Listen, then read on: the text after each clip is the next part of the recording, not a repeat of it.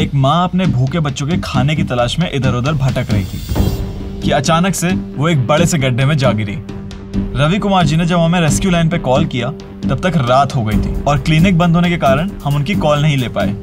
पर अगले दिन सुबह सुबह ही रवि जी ने फिर से कॉल किया और बताया कि एक डॉग कल दोपहर से एक गड्ढे में गिर गई है और बाहर नहीं निकल पा रही। हम जल्दी से आकर उसकी मदद कर दें। जब हम घटनास्थल पर पहुँचे तो वहाँ पर हमने देखा कि गेहूँ के दाने को भूसे से एक मशीन से अलग किया जा रहा है।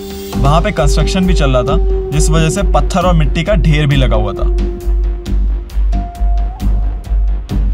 रवि कुमार जी ने हमें पूरी घटना समझाई। कल से गिरा हुआ हाँ? है हाँ आपने कब देखा? मैंने कल शाम को देखा ना इसको। कल शाम को देखा? हाँ जी। निकालने की कोशिश की? ठीक है मैंने जो है इन्होंने मेरे को टेंट भी दिया। अच्छा। तो हाँ जी। हाँ। पर हम निकाल रहे थे ट्रैक्टर वाला ही बेचारा लगा हुआ था पर निकला नहीं हमसे निकला नहीं ना? हाँ। वैसे जाड़ा वगैरह ले आए थे हम ना? लाए थे। पर नहीं निकला। इसने निकलने की कोशिश की। कोशिश कर रहा है या ऊपर तक चढ़ रहा है? वैसे ही ना ऊपर तक यहाँ पर यहाँ तक हाँ, चढ़ रहा है। आ जा रहा है। पर नहीं मैंने हाथ भी देने की कोशिश की पर नहीं। डॉग बेचारी कई प्रयास के बावजूद बाहर निकलने में असफल थी और वो अब इतना ज़्यादा थक गई थी कि उससे उठा भी नहीं जा रहा था। साहिल पोल एंड रोप और नेट लेके तैयार था।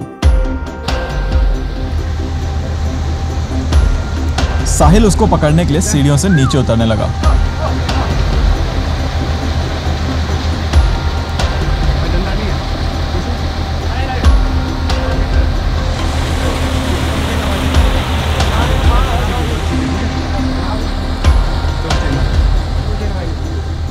साहिल ने आराम से उसके गले में पोलन रोप डाल दिया। पर जैसे ही रस्सी उसके गले में टाइट हुई, वो आक्रामक हो उठी।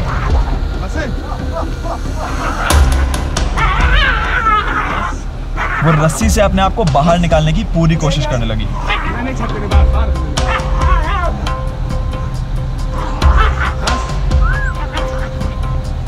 रविंदर भैया ने उस पर नेट डालने की कोशिश करी, पर वो नेट नहीं फंसा।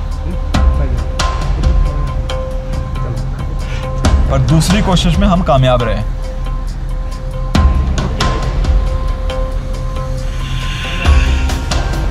हमने नेट के साथ ही उसे ऊपर खींच लिया।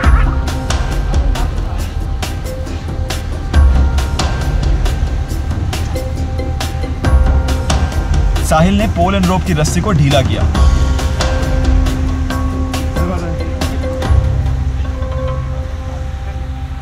आज़ाद होते ही वो शायद अपने बच्चों की तलाश में निकल पड़ी। अब चाहे खड्डे करना हो कंस्ट्रक्शन करना हो या गाड़ी चलाना हो, अपनी ज़रूरतों और सहूलियतों के लिए हम ऐसी बहुत सी चीज़ें करते हैं जिससे औरों को दर्द पहुँचता है।